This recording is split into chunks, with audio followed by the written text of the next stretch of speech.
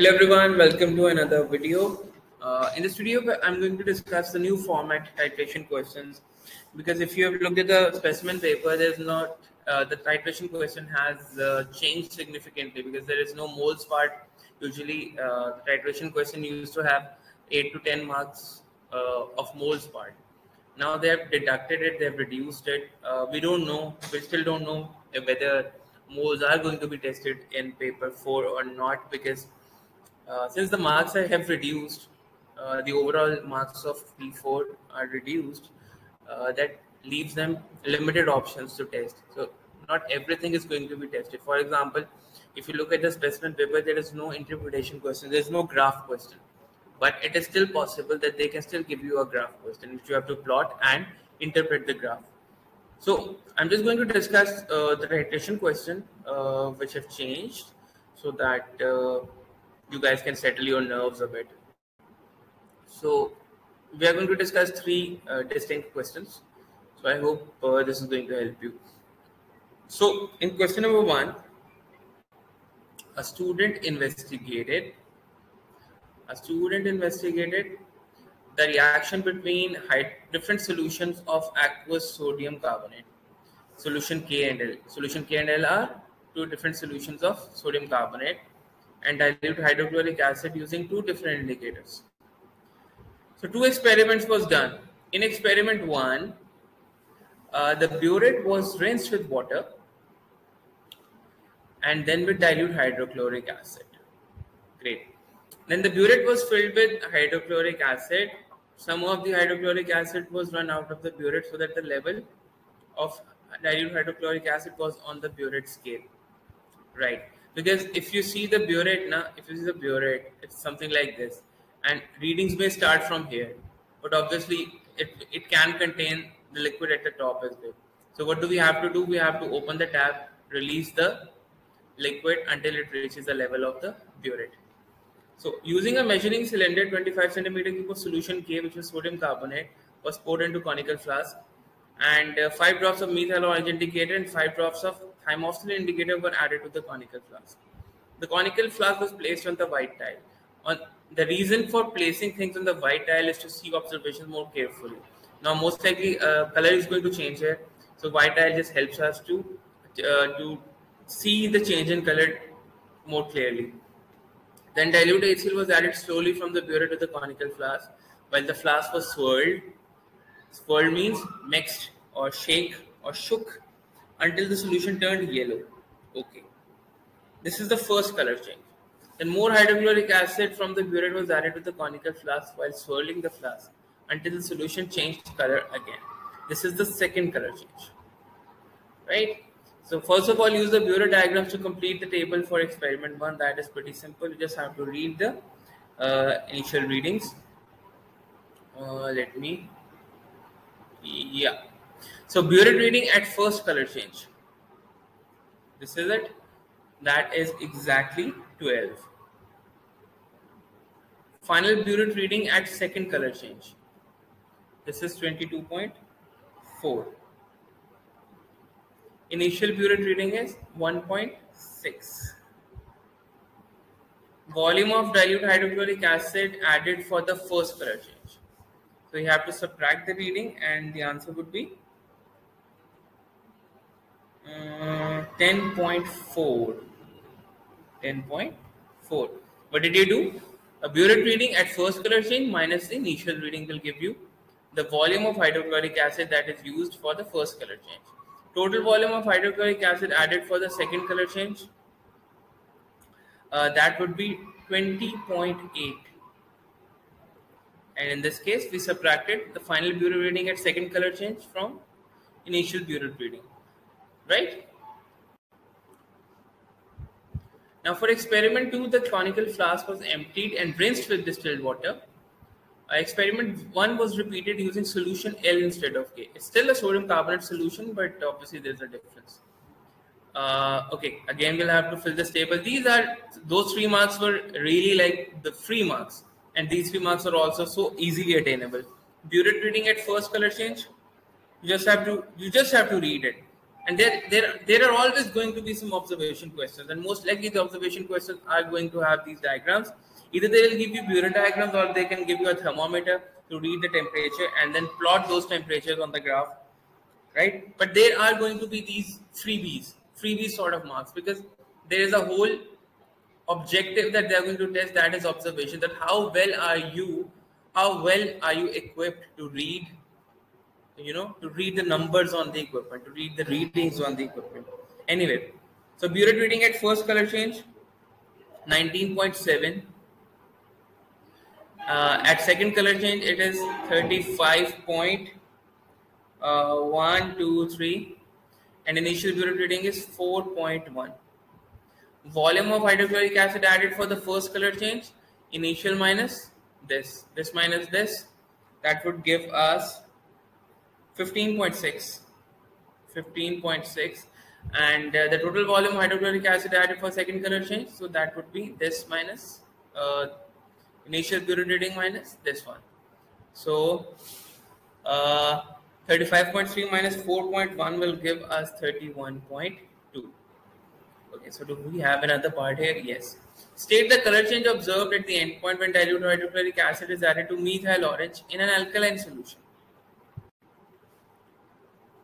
So methyl orange in alkaline solution is yellow. And when you added acid to it, it turned to orange or red. Okay. For experiment 1, compare the volume of hydrochloric acid needed for the first color change with the volume of hydrochloric acid uh, for the second color change.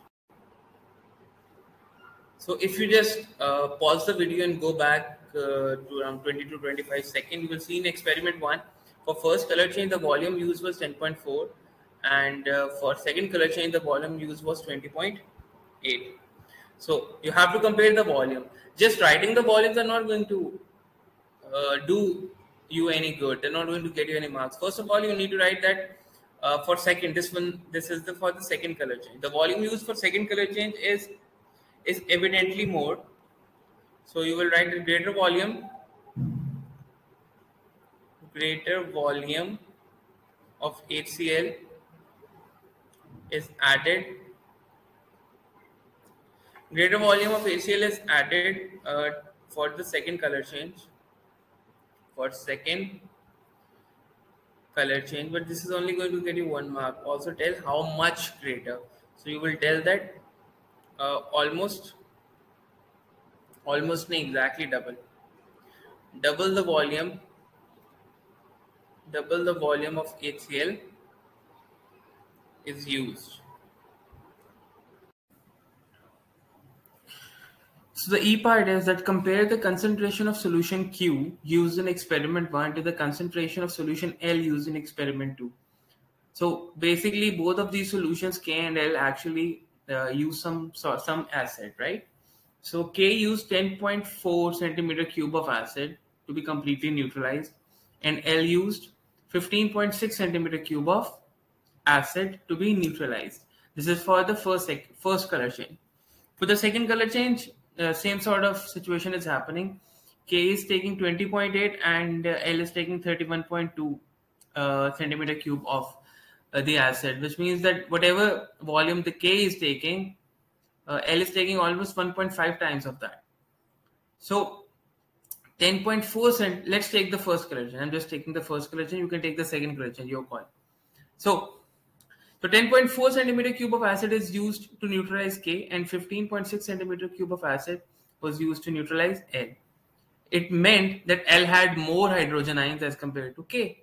That's why L required more acid. So you can say that L was more concentrated, right? So you need to compare the concentration of solution Q to the concentration of solution L. Explain your answer. So you will, first of all, you will start with the volume that, uh, let's say I'll take uh, L or K you call. I'm taking K. He's he's asking you that K अच्छा compare करना है ना you can आप के से भी कर सकते हो एल से भी कर सकते हो सो आई एम गोइंग विद के so less volume of acid is required for K right? You can all you should also tell them how less, right? Less volume of acid is required for K, which means which means L is more concentrated. These are only two points. There is there is a requirement of third mark. So you'll have to tell them that how much more uh, acid is required by L. You will say that 1.5 times the volume of K. So you will say, uh, you can also say, mm, means L is more concentrated, or you can simply say L is 1.5 times more concentrated. That will give you additional mark for this. Okay. Next one is the F part. Uh, reduce the volume of HCl needed for the second color change when the experiment 2 is repeated using 50 centimeter cube of L. Uh, so 50 centimeter cube kar diya na, basically it, has turned in twice kar diya isko.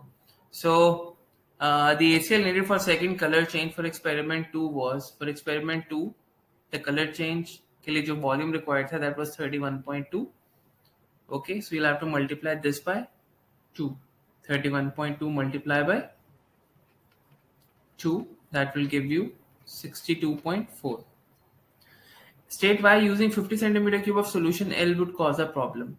The thing is L has to be put into the burette. Burette has a limited range. 50 centimeter cube will be out of range. Okay? It will be out of range of burette. It will be out of range for burette state the advantage of using a pipette instead of measuring cylinder pipette is more accurate pipette is more accurate.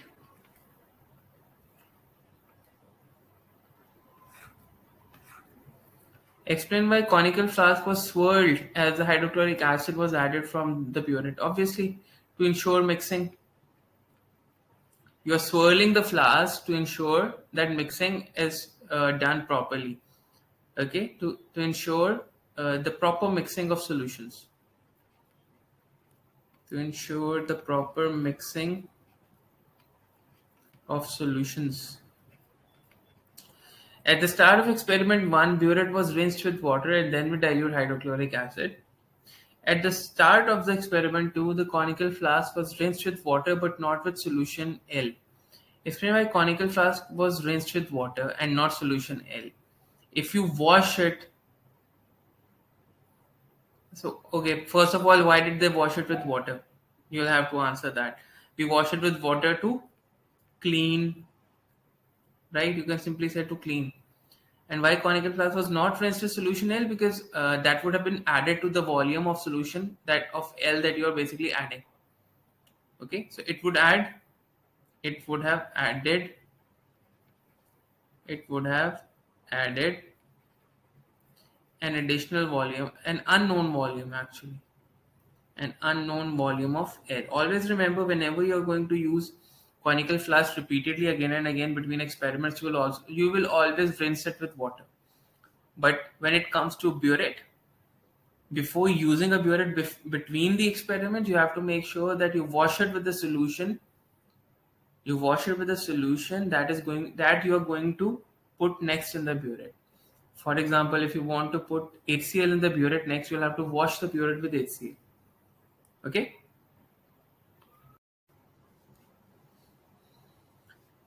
Okay, so we have question number two. A student investigated the reaction between potassium hydroxide with two different aqueous solutions of HCl labeled solution A and B. So two experiments was done. In experiment one, a burette was filled with solution A, which was the acid HCl some of the solution A was run out of the burette so that the level of the solution A was on the burette scale.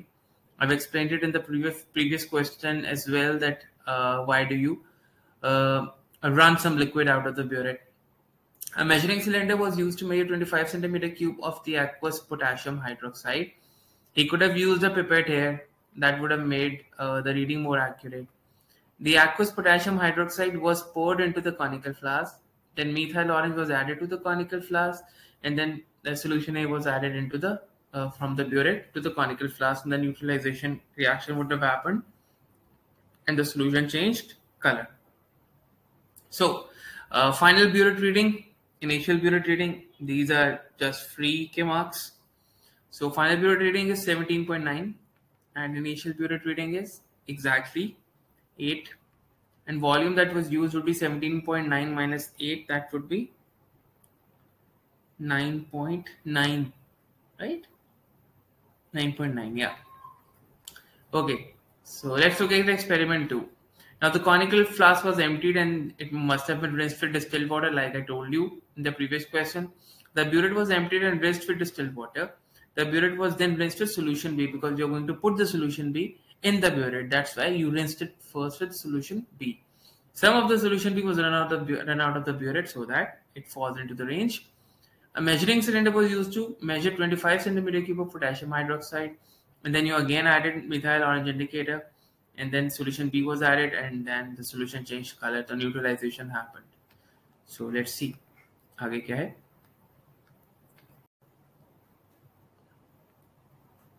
okay so initial and final burette reading again you'll have to note uh, uh, for final reading that would be twenty-seven point one two and 3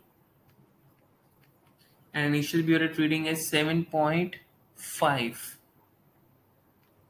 and volume added would be 27.3 minus 7.5 that would be 19.8 so the volume used uh, in experiment 1 was 9.9 and in this experiment so uh, the volume used was 19.8 okay it's exactly it's exactly double. The volume uh, of solution B that means that the volume of acid that is used is almost double in experiment 2 as compared to in experiment 1. So state the color change observed in the conical flask at the endpoint in experiment 2. So we added methyl orange, na? and in the conical flask you had potassium hydroxide and we added methyl orange into that. So methyl orange would give uh, the color that it has in a base, which is yellow. And in acid, the color of the methyl orange is uh, orange or red orange red before starting the titration experiment with the conical flask was rinsed with water explain why the conical flask was rinsed with water. Again i i said to clean it to clean it of any residues that may have, that may be present right? And then the conical flask was not then rinsed with potassium hydroxide State how rinsing the conical flask potassium hydroxide would change the volume of solution being needed. Explain your answer. We have done this in the previous part as well. And I'm doing it again so that it reinforces your concept. If you rinse it with the solution B, uh, if you rinse it with potassium hydroxide, that would mean that some potassium hydroxide would be would remain in the conical flask and when you add the volume of solution B, which means uh, HCl, so more HCl will be required because there will be an extra amount of potassium hydroxide that you'll have to write. So you will say that a uh, larger volume of B has to be added has to be added because uh, of extra unknown volume of potassium hydroxide in conical flask. That's why you always rinse the conical flask with water. Okay, deduce which aqueous solution of hydrochloric acid A or B was more concentrated. It's pretty simple. Uh, you had the same potassium hydroxide. Okay, it took more volume of B to neutralize potassium hydroxide, and it took less volume of A. What does that mean? It means that A contained as much hydrogen ions, which means that half the volume of A contained as much hydrogen ions as double the volume of B contained, which meant that A would be more concentrated. So deduce and explain your answer. So you will say that uh, A will be more concentrated will be more concentrated as less volume as less volume of A was used. Deduce how many times more concentrated the solution of hydrochloric acid was than the other solution of hydrochloric acid. We just saw that B versus A. Uh, 19.8 centimeter cube of B. It took 19.8 centimeter cube of B to neutralize uh, that potassium hydroxide, 25 centimeter cube of potassium hydroxide. While only 9.8 centimeter cube of A was required to neutralize the same amount of potassium hydroxide, which meant that A is almost, A is exactly actually, it was 9.9. A is twice as more concentrated. Okay, and so how much marks is it carrying? We don't know that. Let me see. It's just a one mark question, so you can just say that uh, A is twice as more concentrated concentrated as compared to B as compared to B.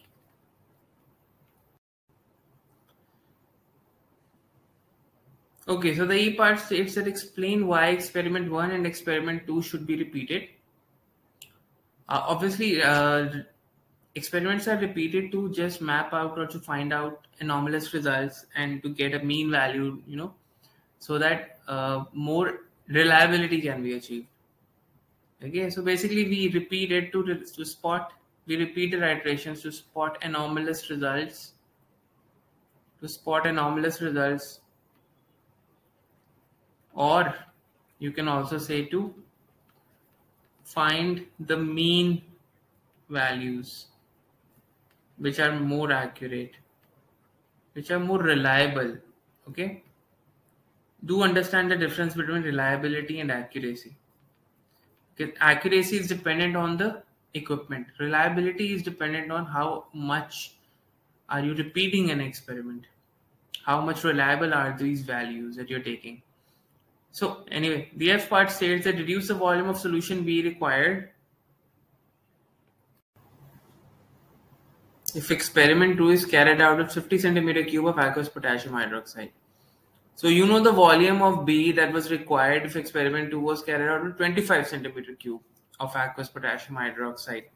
Now with 50 centimeter cube, you just have to multiply this by 2. And it was, uh, I think, 19.8. And you will have to multiply this by 2 and you're going to get 39.6 right so you have to deduce it you'll have to uh, write a sentence about it how would you do that uh, you would say that uh, uh volume of solution b of solution b b required will be twice. So we will have to multiply, I think 19.9 multiply this by 2 and you will get 39.8. 39.19.8 19.8 so 39.6 centimeter cube. Describe one change that you could be made to the apparatus to improve the accuracy of the results. I pointed it out at the start that they use measuring cylinder to measure 25 centimeter cube of potassium hydroxide. So you can use a pipette instead of potassium hydroxide. Use a pipette instead of measuring cylinder. Measuring cylinder to measure volume of potassium hydroxide volume of potassium hydroxide. Describe what effect using a larger conical flask would have on the results obtained. Nothing really. What what exactly would happen? None. Okay, guys, I extracted another question, but now I'm I am looking at it, so it's pretty much the same. And if you want to practice more questions, you can simply go to IGCSE paper six, and you'll find such questions. but the basics are going to remain the same. They're going to ask you about uh, you know uh, reading the observations on the burette reading and they'll ask you to calculate the volume the initial reading and the final reading and they'll ask they will compare the volumes. Okay if more volume is being used of an acid that means that uh, you know we've done this right and uh, the color change of the indicators and uh, how can you improve the accuracy of the experiment? How can you improve the reliability of the experiment? You know how these kind of things. That we've already discussed in these two questions. Uh, almost 90% of the things are going to repeat in other type of questions. Almost 90% of things even more than 90% so if you are able to grasp if you have been able to grasp the first question and then if you're able to do the second question yourself then i think you are good to go. And you can practice more questions by going to IGCSE papers. And uh, you can uh, skim through it and you can find the questions. Okay? See you in the next video